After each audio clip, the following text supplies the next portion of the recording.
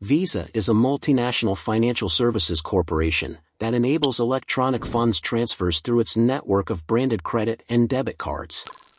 The company was established in 1958 by Bank of America as Bank AmeriCard, the first credit card program available to consumers.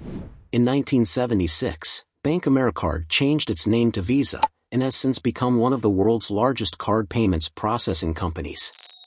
Initially, the cards were used by a limited number of merchants who agreed to accept them as payment. Today, Visa operates in over 200 countries, with over 3 billion cards in circulation worldwide. Its network connects merchants, cardholders, financial institutions, and governments to facilitate global commerce.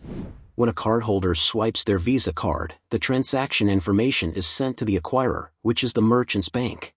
The acquirer sends the information to Visa's processing network, which then routes the transaction to the issuing bank for authorization. If authorized, the issuing bank sends back an approval code, allowing the merchant to complete the sale.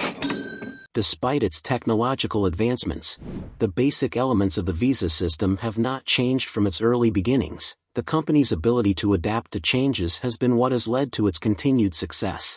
Visa's journey to becoming a major player in the financial services industry is deeply rooted in creating innovative, convenient, and efficient solutions for people.